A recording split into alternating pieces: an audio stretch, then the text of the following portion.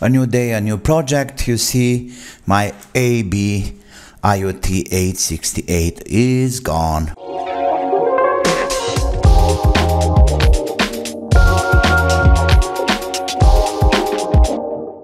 Why? I don't know. Anyway, everything was fine. Now, what's happening? It's not transmitting anymore.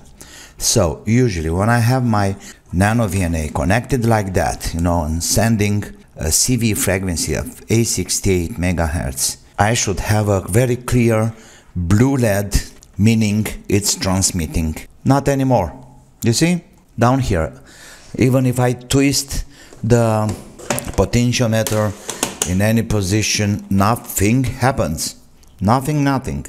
So this one used to blink to blue, absolutely nothing happens. So I know I have a very clear 868 megahertz there. If I'm uh, getting this on the minor side, same story, nothing. And I observed that because my beacons disappeared. But in the same time, the amplification it's working very good. Let me open first. Maybe we can see something obvious there. This goes much faster and easier than soldering and desoldering. Okay. But I think now I have to use my soldering iron. So far, I don't see anything wrong here. Doesn't smell like burnt anything. Everything looks so good, so fine. Okay. So I suspect a static lightning or something like this. But it's funny because the amplification it's still working, you know? The RX is still working and this is great. Okay, so it's nothing obvious here. I'm going to the next step of uh, the project. You see, I have this capacitor here. I have to take it off and to insert a SAW filter. It will be a very simple mod. Air station, it's a need. So my air station on 400 degrees with uh, air at four and a half. Yeah, that should be enough.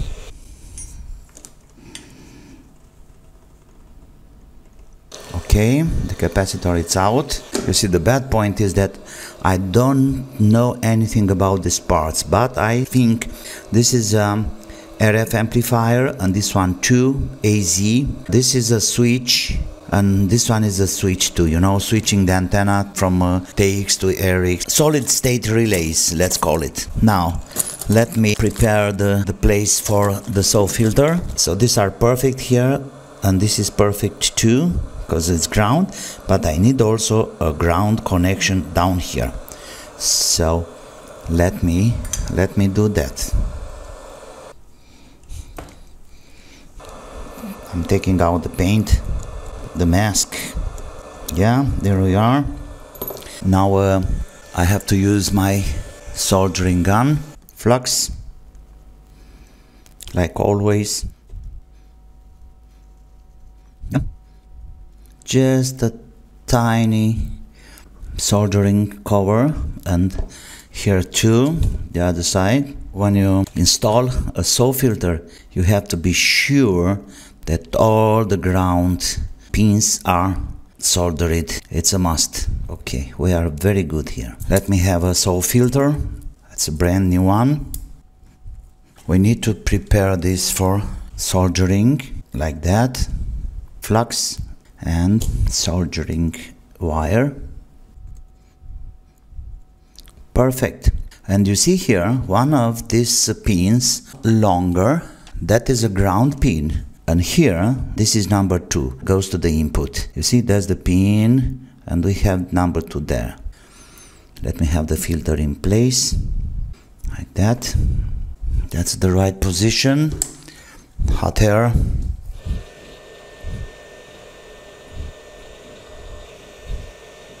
I think it's okay.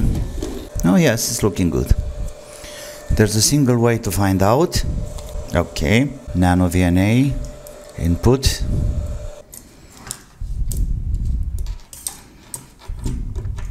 Output. And if everything is fine, now we should have a really nice bell shape on nano VNA display, okay? Stay there. And there we are, good people. This is a perfect amplifier. And the numbers are marvelous. So we have minus 7.23 dB. Right, so what do you think? Is there any life after that? Yes, it is. No more TX, but I can use that like a very good low noise amplifier with a perfect signal gain. Let's see about the gain. So uh, first we had minus 21.27. This is the signal from input to output through the adapter, alright? And after the saw filter planted, okay, we had a minus 7.23. So now 21.76 minus 7.23 and we have an amazing 14.53 dB amplification gain. This is marvelous. I think it's more than enough. But the point is, I still have something to check. It's in my mind. You see, we have this potentiometer here that was for TX, for TX, and it's very clear. But in the same time, we have another another potentiometer in here, a small one. Let's see, does that got anything to do with uh, the amplification? Can we uh, change anything when we move that one? Hmm? And in the meantime, okay, we'll talk about this in a, in a second. Check the screen. No, I don't see any any kind of uh, moving.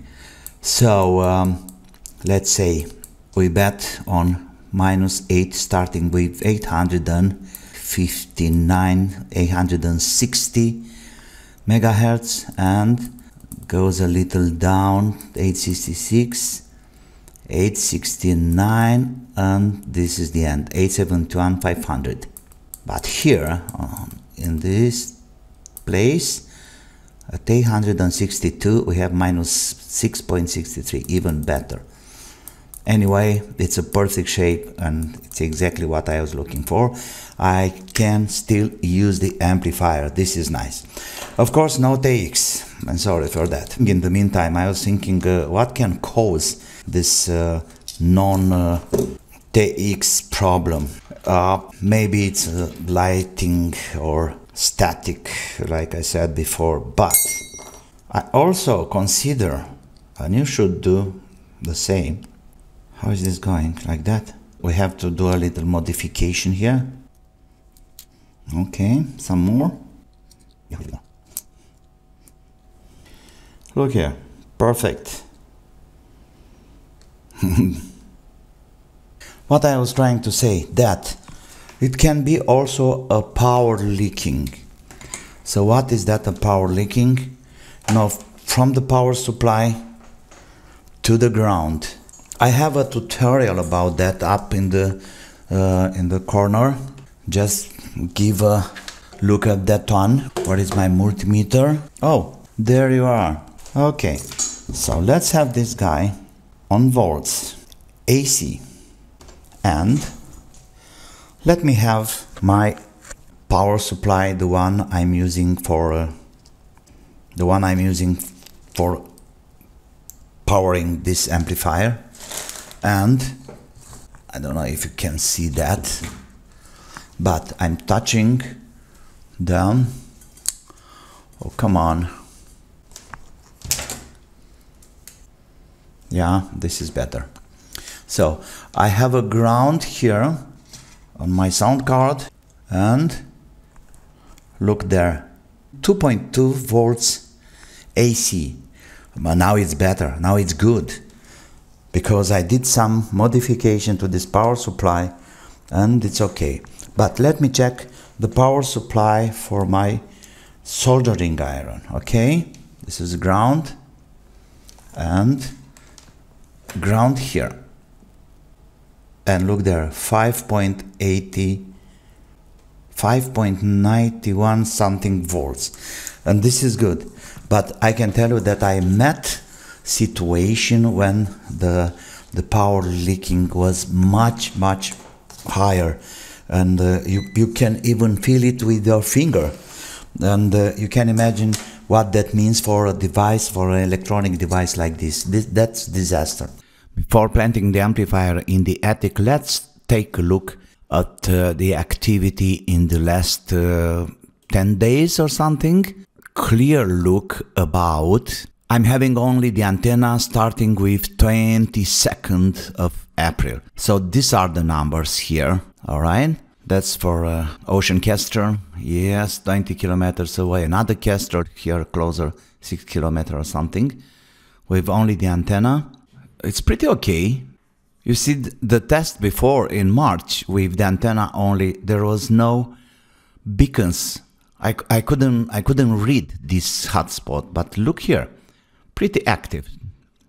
These are the numbers here. So let's take a look at this because then we have compare this with uh, the new ones. Tiger, antenna only.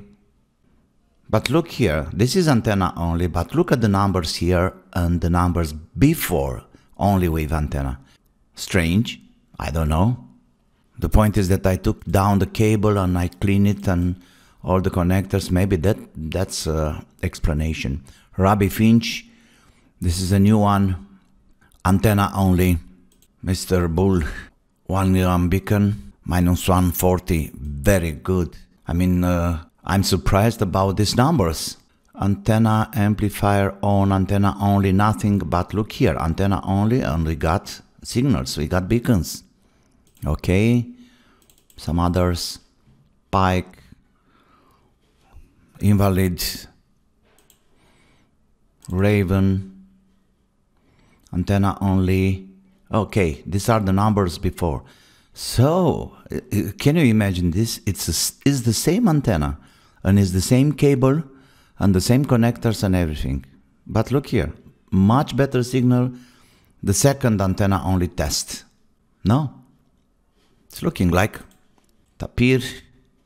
You see, the numbers went up with 10 dB at least. I don't know the explanation. Maybe it was something wrong with the connections there. Same story. Okay. Baboon. Minus 90. And look here. Minus 1 to 3, minus 1, 1, 4. At least, at least uh, 20 dB more. Amazing. So, like advice, a piece of advice, check your cable and check your connectors. Look at this. I see, same story. 1 to 6, 1, 1, 2. Amazing. Tuna, much better. Antenna, antenna. Okay, I show you these numbers because starting with tomorrow, we're gonna have a compare with the AB amplifier on RX only, filtered AB with the filter on board. Okay, do we have some more? Rook, Rook, Rook, 27 of April. Okay. Old. Nothing with antenna only before, but I got now these numbers here. are Very good numbers. I mean, very sensible. Amazing. Minus 85. Nothing there before. Bobcat. I don't know if you have enough patience to follow these numbers, but they are a history. I really mean that, you know, history of reception and distances and signals and so on. They are very clear. The numbers never lie. Uh, antenna only nothing. The first test, it was in March. And look here, we got something. We got one. I can tell you, same antenna, same spot, same pie same cable, absolutely the same, but so different. I'm amazed. 114. The best one in this week was minus 114 and look here minus 108 minus 106 very good I can't wait to see the first results with the amplifier Okay, that's a new one. Mule. Chipmunk. 22nd of April. A new one. Tardigrade. 27th of April here. Okay, let's write it down here. Antenna. Antenna only test 2 amplifier on. Nothing here. In March but we got a beacon. Okay save please. Duck. Okay antenna let me write it down here too. Antenna only test 2 all right minus 113 and look the numbers here. Okay that's it uh, I, I, think we are okay for now. Like I said okay these are older. Very clear. Yeah. Can't wait to have the results. Starting with tomorrow uh, it's uh, Tuesday and we'll see the numbers after one week. Next Tuesday in let me see. Uh, okay tomorrow it's 3rd of uh, May Okay, on 10 of May. Yeah. Okay, guys, I think that was all for today. A simple modification can bring a new life to a semi or a half dead amplifier. I got no more TX on this one. I was trying all the tricks, nothing happens. But I'm happy, at least I can use it for a low amplifier. Uh, low signal amplifier and this is great. Thank you for now. Please like, please subscribe and don't forget to have fun. See you soon. Bye bye.